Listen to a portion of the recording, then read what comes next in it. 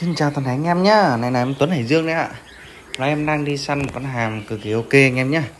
Hôm nay đi săn à, hàng nhiều quá anh em ạ. Toàn giờ mưa dãi nắng từ sớm nên là ốm mất anh em ơi. Giọng anh em nghe anh em nghe hơi khàn tí anh em ạ.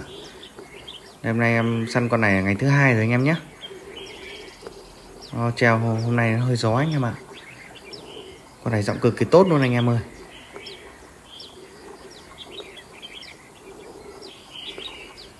Giọng cực kỳ xoắn anh em nhé Con này nên đánh cực kỳ nhạy đuôi anh em ơi Anh em cứ nhìn kỹ cái đuôi nó Bản đuôi nó thi thoảng xòe phát anh em nhé Đấy, đấy nó lại xòe đây anh em ạ Cực kỳ nhạy xòe anh em nhé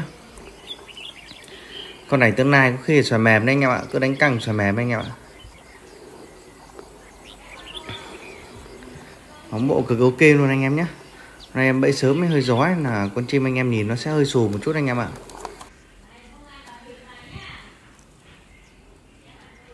anh em gột những con này cực kỳ ok luôn tông rộng hay. Tốc độ mỏ khá là nhanh luôn anh em nhé. Hầu bò anh em này.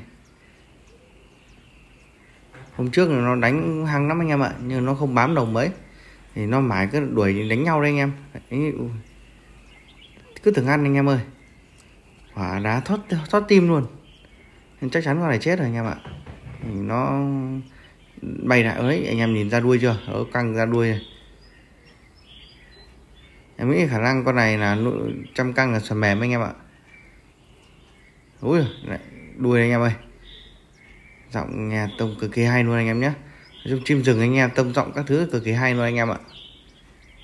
Đấy, cực kỳ nhạy đuôi luôn anh em nhé. Anh em nào kết thì cứ alo nhé anh em nhé. Anh em nhớ ấn đăng ký kênh để theo dõi những clip mới nhất của em Tuấn Hải Dương anh em nhé.